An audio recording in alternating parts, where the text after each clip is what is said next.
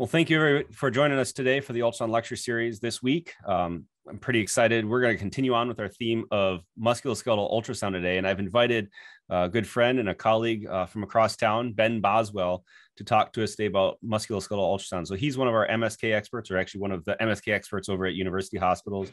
Does a lot with our local sports teams, and so I think he's going to bring a unique perspective on ultrasound, bedside ultrasound, and MSK. So without taking more time.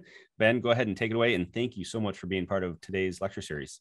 Oh, thank you so much for having me, Matt. Um, yeah, it's uh, it's uh, nice to be back. I haven't given this talk for a couple years, so I had to, to dust it off a couple days ago and and make a few changes to it. So, um, for those of you who don't know me, again, my name is Ben Boswell. I'm a emergency medicine doctor. I did my residency in Miami Beach, Florida, at Mount Sinai, and then I did my fellowship in sports medicine at Duke University. And so I have a dual practice where I do both emergency medicine and sports medicine. So um, I like it because it gives me a pretty good uh, perspective both in the emergency department and in the sports medicine clinic.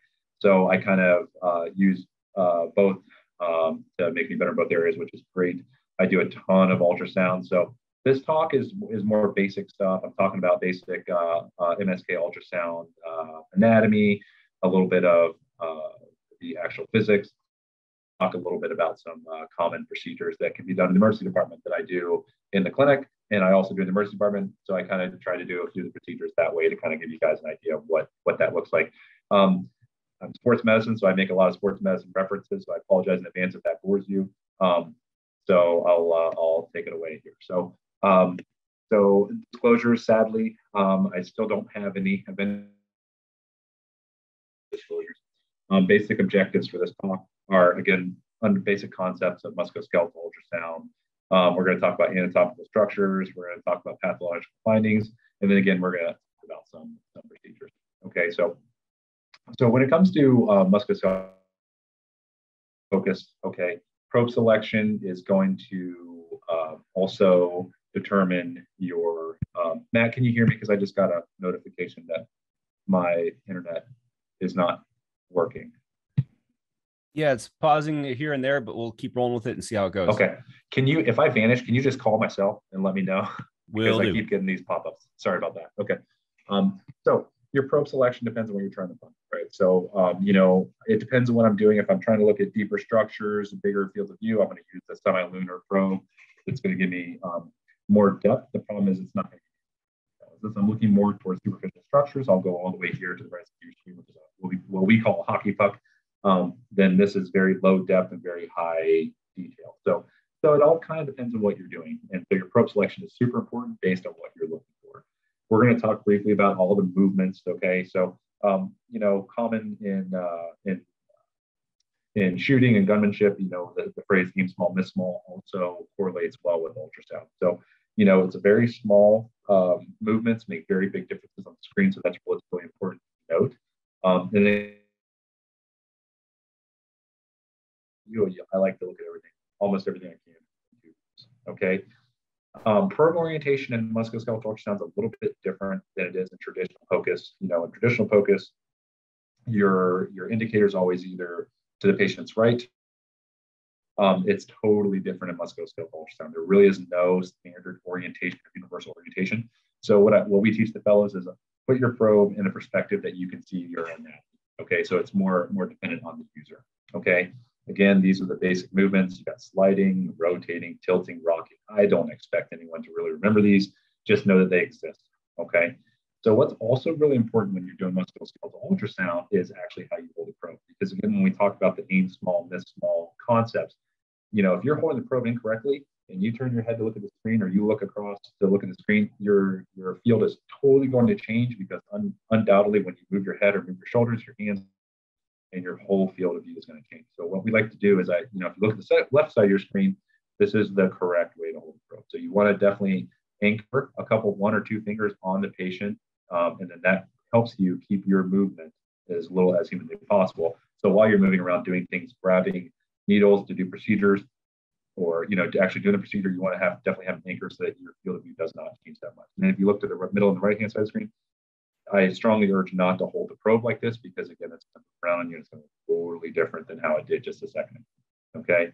Also, something to note is you can these probes are uh, they're water resistant. So you can, like if you're looking at very superficial structures, um, you don't have enough gel to get a good you can always put things like the hand or the foot in a tub of water, and that gives you a great, uh, great image because um, the sound waves do not pass well through air. So they need water, they need gel. So you can always do things like this to make it a little bit better. Okay, so again, things we can see: fractures, dislocations, fusions, tendon injuries, ligament injuries, muscle injuries, so on and so forth, nerves, cartilage, uh, fluid-filled structures. And then what's really nice about musculoskeletal ultrasound is you can see dynamic imaging, see snapping, triggering subluxations, tendon tears, disruptions, things like that, which is really nice.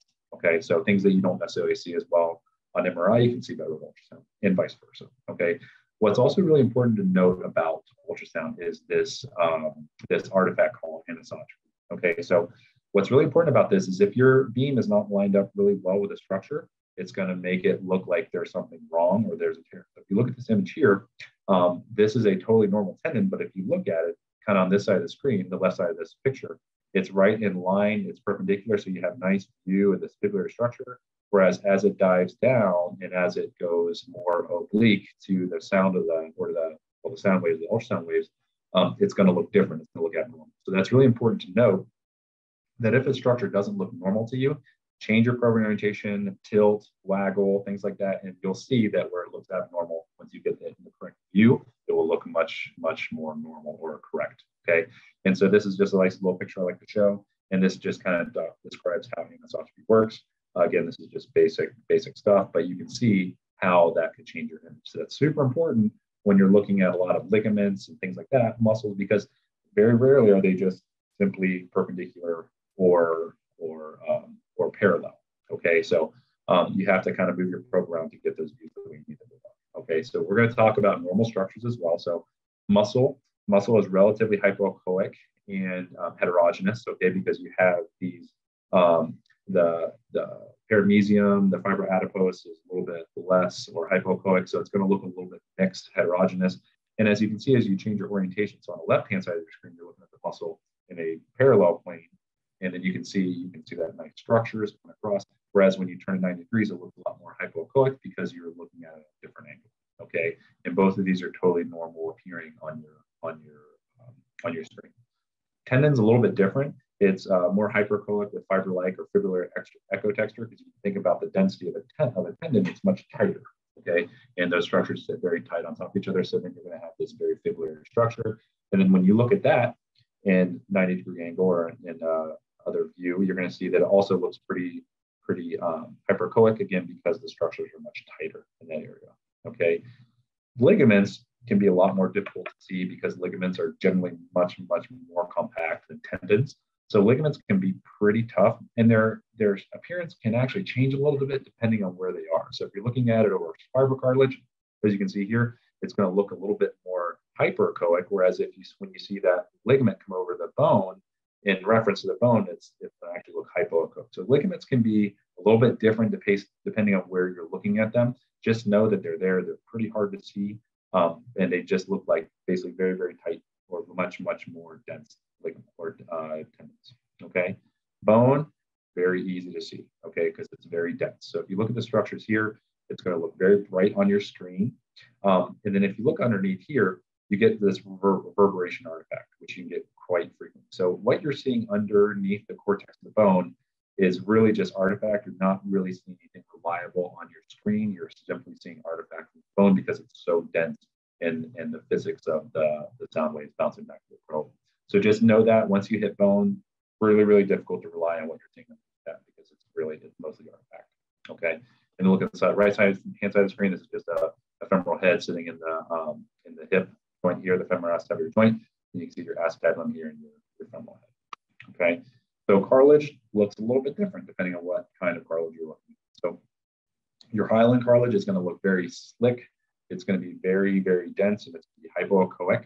Okay. Whereas your fibrocartilage is more fibrous tissue. It's going to be more hyperechoic and a little bit more heterogeneous appearance. So if you look here, here's your um, the hyaline cartilage on the on the uh, distal femur here. And underneath you see this fibrocartilage from the meniscus and see how much differently, how different the appearances are based on what you're looking at. Okay. Nerves can be a little tough too. So nerves, they take on this more fascicular appearance. They um, can look in short axis, they're pretty easy to pick up. Um, if you look at this honeycomb or wagon wheel appearance here on the top right of the screen, this is looking at a short axis, whereas when you go long axis, it looks a lot like a tendon. Okay, so um, you have to be really careful about that. And one way to tell the difference between the two is actually just having them, you know, for instance, if you look at the wrist, your tendons, your muscles are going to move, whereas your nerve should stay pretty, pretty, uh, uh, pretty static.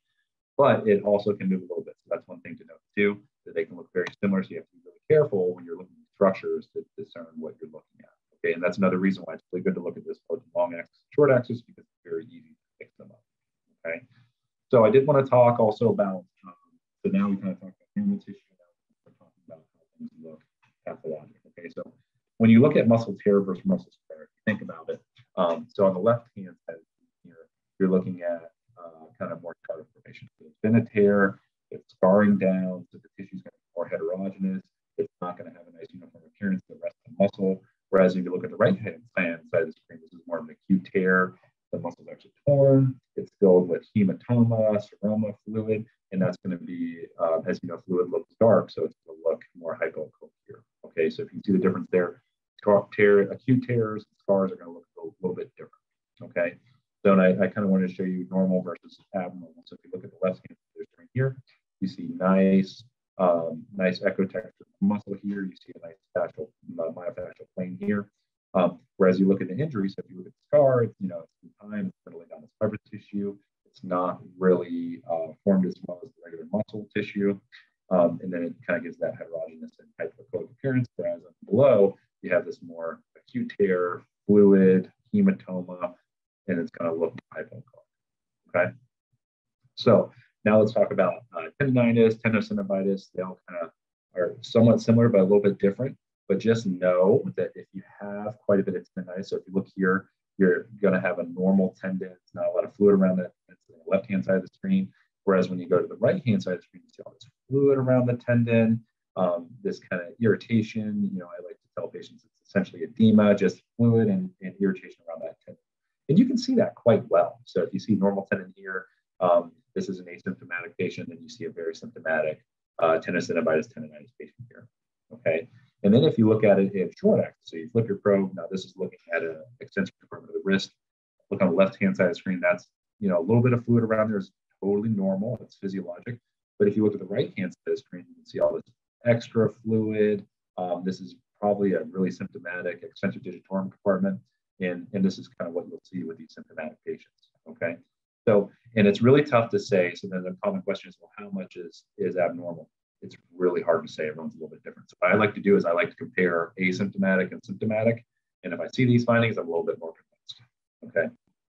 So I did also want to talk about fractures. Generally, if you're worried about a uh, fracture, you're going to get radiographs. But sometimes there may be little subtle things in radiographs that you can't really tell. The nice thing is to do is just put an ultrasound probe on there. And sometimes it can be more obvious, like if you look at the right you have a pretty obvious displaced fracture here. But whereas on the left, it's very small, but you can see this little break in the cortex. Okay. And so that's something to note too, is you can also use ultrasound to see, see uh, fractures, which, which is helpful sometimes. Okay. I'm not going to go really deep into this, but this is kind of more osteomyelitis, also quite helpful if you have that diabetic patient with some overlying cellulitis or, or unexplained pain, elevated ESR, CRP, and they're complaining a lot of like deep, achy, throbbing bone pain, bony pain.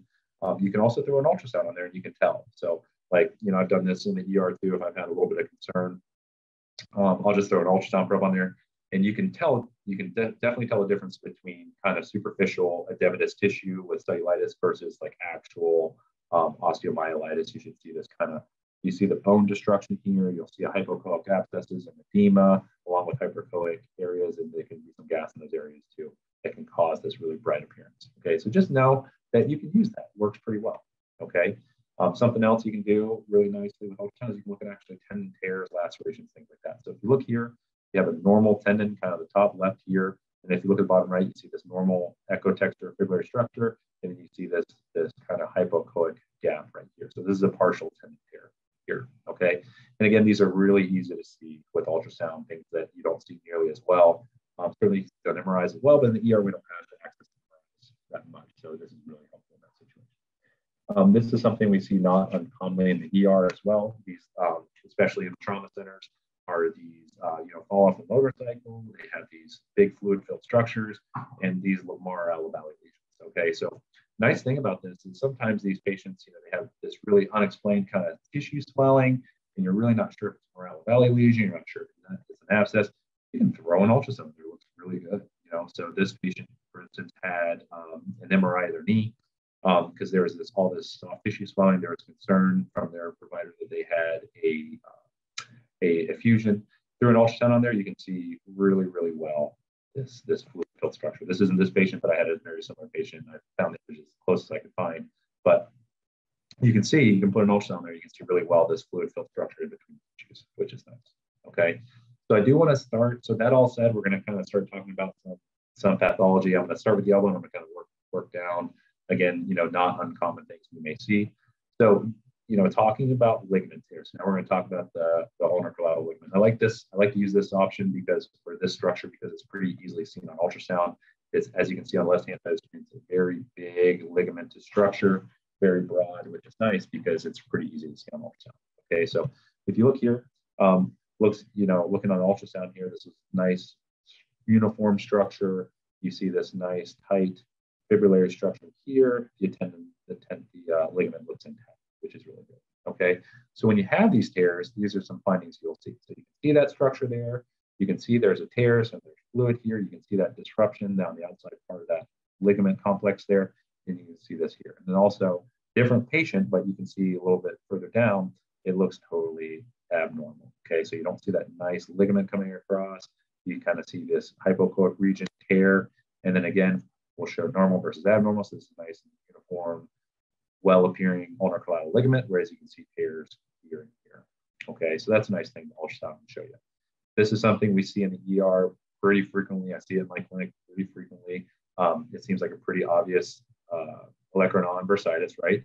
um, you know, patients like to see that. So you could say, hey, look, you know, you do an ultrasound, put a probe there, you can see all this fluid sitting around in that bursa, okay, which is really nice. Easy, easy tool. You can show them, say, hey, this is exactly what this is. And then we're going to talk later about, uh, later on, talk about what you can do about it. But this is nice, really, really easy, fast test to do. You don't need to get radiographs or anything like that. Really easy. Okay. Something else patients come in frequently is, is the old ganglion cyst, right? So um, you see this swelling, you know, you throw again, throw an ultrasound in there, make sure it's not something else kind of funny, and, and it's pretty easy to see with a ganglion cyst. So if you look over here, um, you can actually see a tiny little possible cyst right here, but relatively this looks nice. Whereas you look here on the right hand side of the screen, you can see this extensor tendon here, and then you got this big swelling over here. So that's you know the typical appearance of a ganglion cyst. Um, pretty easy to show them, and again, easy diagnosis to make. Okay. Other things, um, you can see this in the ER sometimes. This is usually more of our fast track or minor care areas, but patients come with this kind of overuse wrist pain. Um, you know, commonly we like to diagnose or like to, uh, you know, we'll see the this De Quervain synovitis. Easy diagnosis to make with ultrasound too. So if you have a normal structure here, again, a little bit of fluid around these tendons is relatively normal. But if you see over here, this is uh, pretty symptomatic um, first extensor compartment. You see the extensor pollicis brevis, abductor pollicis longus, and you see this fluid kind of sitting around it. So this is uh, more likely a symptomatic De Quervain's or, or uh, extensor tendonitis. And then intersection syndrome is something we see pretty frequently too. Um, that's kind of more or less uh, uh, intersection of compartments one and two on top of each other. And what can happen there is that can also get really irritated with these repetitive wrist motions.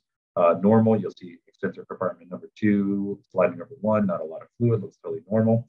Whereas someone symptomatic, you're going to see all this fluid, you're going to see tracking between the two compartments.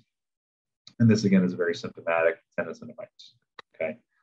So um, this is usually when I kind of open it to the group who this is, you know, um, that kind of gives away what it is. But this being on Zoom, it's a little bit difficult. So I'm just going to talk through it. So this is uh, JJ Watt. Um, he had an injury on the field. He had a, what we call an acute traumatic swollen knee. Okay. Um, three traumatic causes of acute hemarthrosis. So this is what I kind of teach our residents and fellows. Someone comes in, they injured their knee, and they come in with a big, heavy, swollen knee. Like within hours of the injury, it's generally going to be three different things. Okay, so it's going to be either an ACL tear, uh, patellar dislocation, or tibial fracture. Okay. The nice thing is, if someone dislocated their patella, they're going to tell you they dislocated their patella. They're going to describe it pretty well, or they'll come in with it still dislocated. The reason that causes some swelling is that medial retinaculum bleeds into the joint, causes that to get really small. ACL ruptures and tibial plateau fractures, they're going to give you more of an insidious story. You know, I twisted, turned, hit my knee, felt a pop, my knee really swollen, got really swollen. And so your management is going to be very different. Okay. So, you know, an ACL tear, ER, it's not that important. Okay. We'll have them follow up, nothing acute, but a tibial plateau fracture is going to make a big difference. Okay. So, and not uncommonly with these plateau fractures, you're going to have, um, if they're non-displaced, they're going to look pretty, the, the radiographs are going to look pretty good. You're not going to see a, a, big fracture unless it's grossly displaced. These non-displaced tibial plateau fractures can look pretty normal on x-ray. So this is a patient I had in clinic that was seeing an ER, x-rays read as normal, looked pretty normal. Um, but they couldn't walk. They had really bad knee swelling, couldn't put any weight on their knee, and they're having a really hard time. So um, I threw a probe on there. Um, you can see here, so this is that patient. So if you look at the right hand this is what I saw with my ultrasound, you know, because I, you know, I basically told them like, could be a small fracture, could be an ACL. Um, and this is what I saw. So then I compare this to the CT that was later later um, performed, and um, you can see there's a pretty obvious tibial plateau fracture there. And again, the management totally changes. So um, so it's really nice. The ultrasound can make a big difference. This is something you can do in the ER if you're not really sure. You just take a quick look at the cortex. It looks fine, then you can be pretty pretty reassured. Okay, and that kind of saves you from having to get CT scan. Okay, so again, tibial plateau fracture can cause a huge hemarthrosis. Um, and then, you know, a lot of times we'll have these patients come to the ER with just a plain old swollen knee. Okay. See it all the time. Um, this is basically a kind of a diagram of that of that knee capsule, knee joint capsule that you'll see.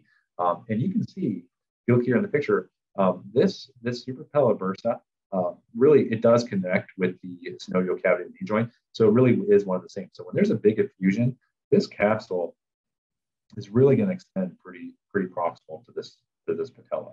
And if you look at an ultrasound, this is kind of what you see. So if you have a big knee effusion, you're going to see this hypoechoic region kind of extending. Here's your quadriceps tendon, kind of extending all the way up in here. And this is a really easy way to see effusion. You turn the probe 90 degrees, you can see again this big old effusion sitting around. Okay. And, you know, and that's nice. So, you know, we're going to talk a little bit about training this, but, you know, when I was going through my training, I was taught to, to drain these blind. You can do that. But if you do it ultrasound guided, you almost can't, which is really nice. Okay. So, and we're going to talk about a little bit. So, something else patients come in frequently in the ER is they come in with, with posterior knee pain and swelling. So, for us, you know, what's important is we don't miss a blood clot. Okay. So, I feel like 90% of ultrasounds we get on these patients that are negative for DVTs do often show Baker cyst.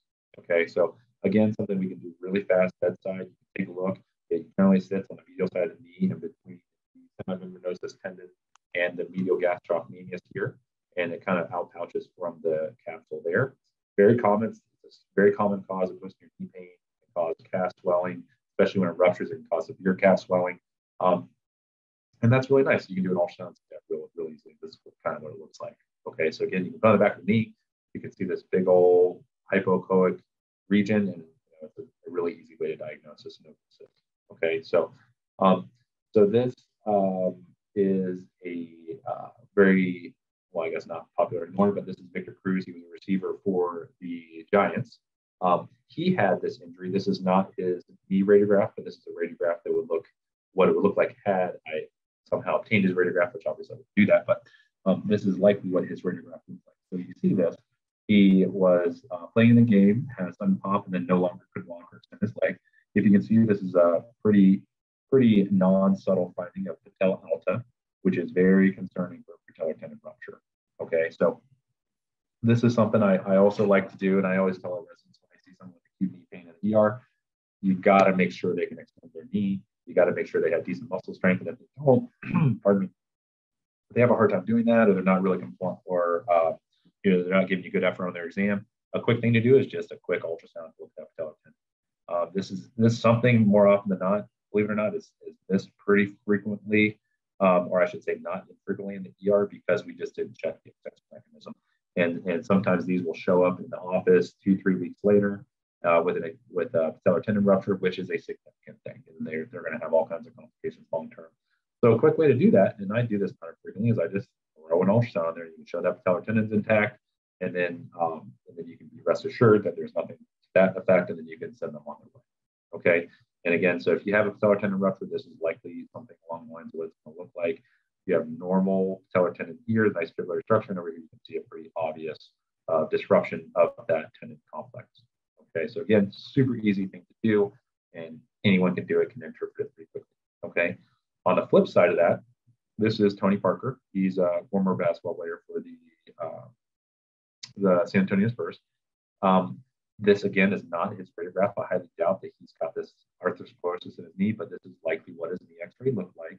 Um, he had a quadriceps rupture. Okay, again, this is somewhere you know. As I'm also checking the patellar tendon, I also like to go over top and check the quadriceps tendon because again, this doesn't have a high amount of uh, morbidity if this is not fixed on in a pretty quick manner. Okay, then they can have a lot of atrophy and have all kinds of long-term effects. So again, I will also take the probe and I'll look at the quadriceps tendon.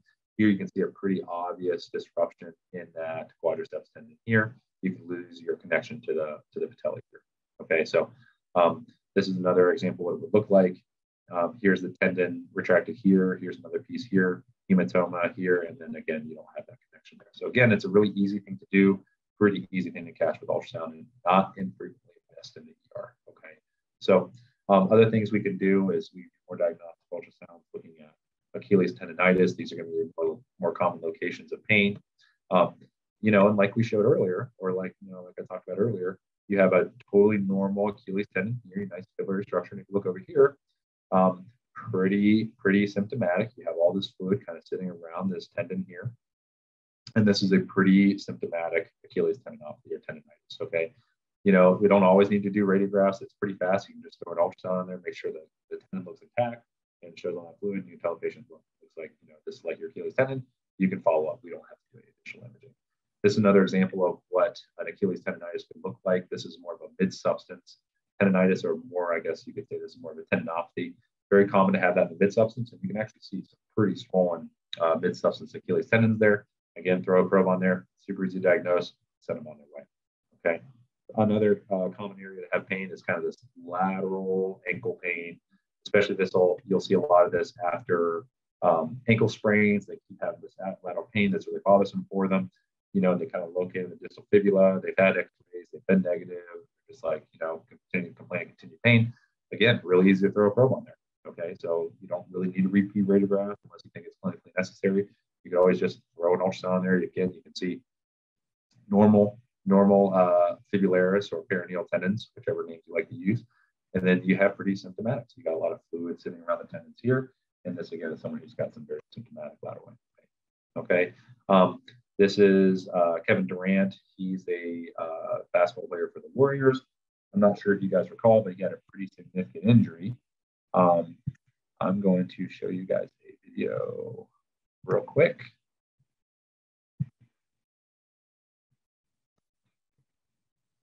Matt, can you guys see this video okay? Yep. Okay, perfect. So um, I love this video because they show this on ESPN probably 500 times when this happened. But you can see here, you can see right where he pops it. Takes a step, pop. And you know, these uh, these are pretty not very subtle. I'm gonna stop this share. I'm gonna go back to my PowerPoint.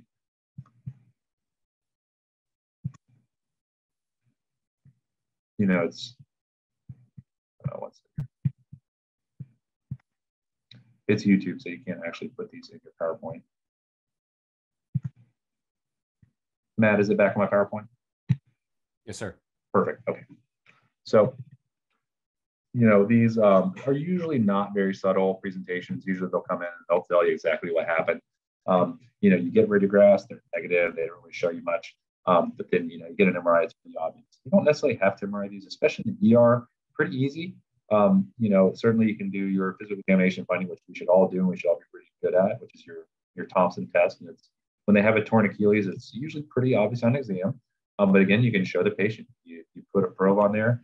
Again, normal Achilles tendon on the left. If you look at it right, there's this very big, obvious disruption here with retraction of both ends and filled with that hypoechoic hematoma.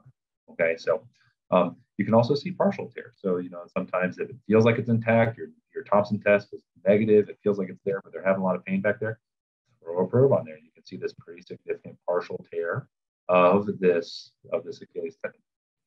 Um, So this was one of our, uh, she's one of our attendees now, but she was a resident at the time. She sent me these videos.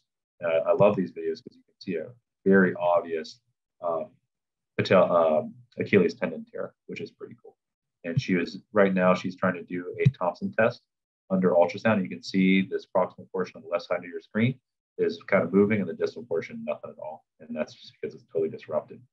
And then she also did a short axis view and she was sliding up and down the tendon. You can see, again, this very large, obvious disruption here, which is pretty nice. And again, it's, you know, it's a easy test, fast test, and pretty obvious findings, which is cool. Um, something I, I also see, I see in the ER several times, see in my clinic all the time is, is patients who come and they tell me they tore their Achilles. A lot of times they have these medial gastrocnemius tears or tennis leg, also very common. And again, something you can diagnose real, real easy, real quick in the in the ER. You can just throw the probe on their calf, throw it on the, the normal side, then throw it on the abnormal side. You see this very obvious hematoma tear right in that musculotendinous junction there, which is nice, easy diagnosis to make. Again, plantar fasciitis is something else that ultrasound is great to diagnose. Uh, radiographs, um, oftentimes are normal. Sometimes you see this little spur. You can throw an ultrasound on there, and you can see this very abnormal um, plantar fascia, plantar fascia here as compared to asymptomatic on the left hand side here and then very symptomatic on the right, very small plantar fascia, which is nice. Okay. Um, they come in with this proximal shoulder pain. You worry about biceps tendon. Um, you know, and they come in and they're talking about this uh, pain in their in their shoulder and their bicep. You know, and you worry about this proximal this proximal bicep tendon tear, which sounds really easy to diagnose that. You know, um, something real simple. So you have a normal bicep tendon here on the left hand side of the screen. And then you look here on the right hand side, you either have it totally torn, pardon and, and retracted. So there's really nothing in that groove there whatsoever. Or you can have it torn and just kind of balled up in that little area. You see this kind of hyperechoic um, heterogeneous structure here, and that's just really the tendon torn and retracted into that into that groove, which is really nice again, super easy diagnosis. Okay, um, on the same side of that, they come with this anterior shoulder pain, really bothersome for them. Um, and then you can see the very obvious proximal bicep tendonitis here. Again, normal on the left, upper right. Sometimes it's super obvious like this, sometimes a little less obvious, but you'll see some fluid around here. And uh, both of these are symptomatic. It's just one, this one is much more uh, apparent on ultrasound. That little bicep groove there. It's not even in there. It's so swollen and pulled out. And so that's really nice to easy diagnosis to make. So um, something else we see a lot of in the ER, these, these shoulder injuries, rotator cuff tears. The most common is going to be your supraspinatus muscle tendon, which kind of sits right on the top of the shoulder. That is without a doubt the most common rotator cuff injury you're going to have. Um, really easy view. You have them kind of get that what we call the gunslinger position. You bring your probe that top side of the shoulder, and this is what your normal supraspinatus tendon is going to look like. Um, both the left hand side of the screen long axis and short axis on the right hand side of the screen. You don't see any tears. This looks totally normal and totally fine. As opposed to when you have tears, you can see, you know, if you look at a diagram here, you can see what, you know, uh, illustration is going to look like. If you look at an ultrasound, normal up here, you can see a pretty significant tear and retraction. Okay, again, um, you know, these acute injuries, acute tears, you're going to see this hypoechoic space, basically absence of that tendon filled with hematoma. And it's pretty easy to see. Okay, AC joint, another common area. You know, you have bicycler struck, falls on their shoulder, or someone just simply falls off their bike on their shoulder. Um, they get this really irritated AC joint. Um, and you can see here, uh, symptomatic versus asymptomatic. So on the right hand side screen is totally asymptomatic. Normal, it's nice and smooth, a little bit of fluid there is totally normal. But you look at the other side of the screen, you can see there's a little bit of separation here. You have a little bit of bleeding, so it's going to give it that heterogeneous appearance as you get that um, that debris. There, okay, so again, asymptomatic, symptomatic. And again, if you look at something that looks a little, a little concerning for you, just look the other side is asymptomatic. It could be totally normal, it could be abnormal. Okay, so shoulder dislocations. Always going to talk about this. Uh, this is one of my favorite uses for ultrasound in the ER is when you're looking at shoulder dislocations and reductions. This is what a normal shoulder ultrasound is going to look like. It's not the greatest picture, but basically you're going to see um, you're going to see the glenohumeral joint here. You're going to see the scapula. You're going to see labrum in here, and you're going to see the head of the humerus sitting here. Okay, this is a normal non-dislocated shoulder. Okay, in an anterior dislocation, which is what we see much more frequently, you're going to see this humerus kind of below. You're going to see the, the glenoid here. You're going to see the head of the humerus kind of deep below. Again, this artifact, you're going to see this little bright lit area. And then you're generally, where this ultrasound's done, you're going to see this infraspinatus coming across, kind of holding on for dear life down here. Um, but the, you're going to see the, the head of the humerus deep um, because that anterior dislocation on, on the opposite side as with the posterior dislocation, obviously far less common and much more commonly missed. If you do an ultrasound here, um, you can see where this head of the humerus looks proximal to the screen or, or superficial. Um, you have your glenoid deep and it kind of comes up and just kind of dislocates and sits on the top. And I'm comparing that to radiographs here. Um, if you look at radiograph on the top right hand side of your screen, this is pretty commonly missed. If you just do an AP view, it's, it's pretty easy to miss these. Uh, if you do a CT, uh, this is the same patient, by the way, all three of these pictures. Um, CT definitely showed this shoulder. This this gentleman had had uh, shoulder dislocation for about four weeks by the time he came in. So, um, you know, and a quick ultrasound would have noticed it, which is nice. So um, that's a just kind of a brief overview of the pathology you're going to see. I did want to talk briefly about um, these ultrasound guided procedures you can do pretty easily in ER as well. Um, and we're going to talk about these ones in particular. So, um, you know, I'm, I'm, not sure how, how you guys do hematoma blocks, but I'll tell you how I was taught to do a hematoma block when I was in residency was literally um, take the needle, insert the skin, and literally just walk up the bone until you hit it where there's where it's soft. Okay. And you know that seems a little bit barbaric to me. Uh, patients hated it because they would literally feel that needle walk down that whatever you know, whatever bone there. You know, more more commonly the the distal radius, and they hated it. I hated doing it. Um, whereas if you do it with ultrasound, super easy. So I've done this in my clinic a few times with someone who's come in with a pretty displaced fracture that I that I could manipulate and put in place myself without sedating them. I've done this a few times where you just do an ultrasound, find that area, the hematoma, and literally take a small needle, put it right there. It's much more comfortable for the patient and it works pretty well. And you know, let it sit for about 10 minutes, and then you can perform, perform a manual reduction, and they're pretty well controlled, which is nice. Um, something else I did want to talk about was an olecranon bursa aspiration. Yeah, this is a little bit controversial whether or not you should do this. Um, a lot of times, to be honest with you, when you do this, it comes right back.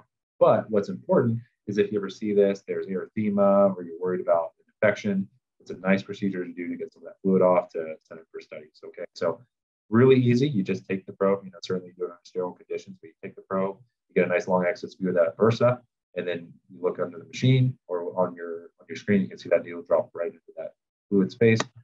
It's almost impossible to miss this. So it's a super easy procedure to do. Works pretty well. Ultrasound guidance works great.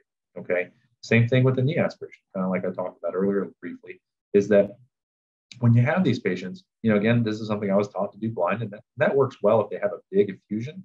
But if they have a pretty small effusion, it's pretty easy to miss these, you know, and you, you feel it, you're pretty certain you're in the right spot, trying to pull fluid, you're not getting much luck. Um, you know, it works really well to do this ultrasound. You can do it, you can do a picture, you can see where your needle drops right in that fluid. Um, sometimes you can even have some synovium that kind of the needle gets caught on. So a good way to see if that's happening is do an ultrasound. You can see if it's caught there. Really easy to do. Again, you know, it's, it's almost impossible to miss uh, knee aspiration when you when you use ultrasound. Whereas if you do it blind, you can miss. You can be places you don't think you are. Okay, so it's a really easy procedure to do, really fast. Doesn't really add any time to the prep, if you ask me. Okay. Another thing that that uh, I'll do pretty often um, in, in my clinic, at least, you can also do in the ER too. If matter. It's a Baker cyst aspiration. Okay, super easy to do. You take the probe, you look at the back of the knee, you find that open space. Um, certainly, you want to look at it with Doppler first, you're not actually putting a needle in, a, in an aneurysm because that could be pretty bad. Um, but you know, use Doppler, make sure it's not vascular, and then drop a needle in there. It's super, super easy. Okay, and then patients feel much, much better after this, which is nice. Um, I did also want to talk briefly about some shoulder procedures. These are things that, that I've done both in the ER and, and in my clinic. Um, but these are also very nice for patients. So glenohumeral joint injection, um, you know, similar to how you hold your probe orientation for a dislocation, um, you kind of hold it in that transverse plane, um, and then you come in laterally. And what you'll see here is you kind of drop this needle directly in the joint illustration on the right hand side. Um, if you have your probe orientation kind of going lateral here, um, you can see on the image, you have your needle that kind of drops in here, and goes directly in this joint right here. And then nice little illustration shows this needle on the joint you can kind of inject. So if I'm doing a dislocation reduction, I really try not to sedate these. I will oftentimes do a glenohumeral joint injection, put medication in here, and it makes it a lot easier, nicer for patients. So super easy procedure to do. Just hold your probe, hold your needle, and you know, again, you almost can't miss.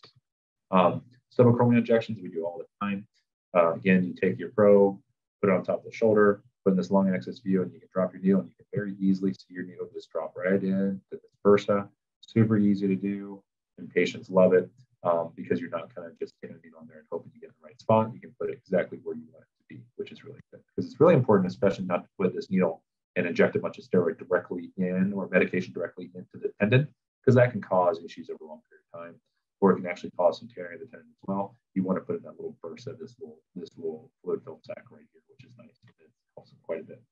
AC joints, super easy again. You just kind of put your probe in long axis over the joint here, and then you just drop your needle in short axis. And then, you know, much like we're doing a ultrasound guided central line or an IV, you drop your needle short axis, and you can see it light up right here. Once you see it's there, you know you're in the right spot, inject medication, and uh, they're much, much happier. Okay. Biceps tendon sheath, also very similar. Take a picture here, short axis of the tendon, drop your needle long axis, and this is kind of what it looks like. Uh, what's important here is this, this little artery that normally sits on the medial or lateral aspect of the tendon here. It's more commonly on the medial side. Just know that's there and just try to avoid that. It'll sit right there. You'll see a little pulsating hypoechoic region here. Um, other than that, you can kind of inject this peritendon in the face. And again, patients love it. They feel great. Easy to do with ultrasound. Okay. So um, to wrap up, I think our time is pretty good. Um, again, in brief discussion, you, you, know, things you can see, see fractures, dislocations, you know, kind of all these things, tendon injuries, ligament injuries, nerves. Um, but also nice is you can use dynamic and, and uh, do dynamic procedures, which is really good. Okay, so uh, a lot of pictures, references. Um, here's my actual references from uh, the Jacobson Book of uh, Musculoskeletal Ultrasound, which is kind of like the Bible that we all use. And um, that said, any questions? And I'll leave that up and say thank you. And I'll leave it up for questions. Well, thanks, Ben. Thanks for that. Uh, a wonderful summary of kind of musculoskeletal ultrasound, kind of all a bunch of things that we can do uh, that have practical impact to the bedside. So definitely appreciate you coming over and talking to us. No problem uh, like, at all. Like Ben said, anybody with questions, now's your chance to ask the MSK expert you know, all your burning MSK questions.